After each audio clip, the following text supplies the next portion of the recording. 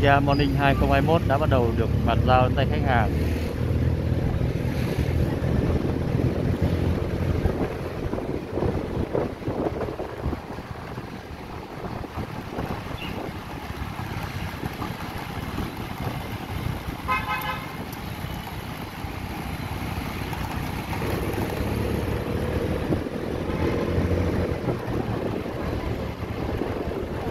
Thôi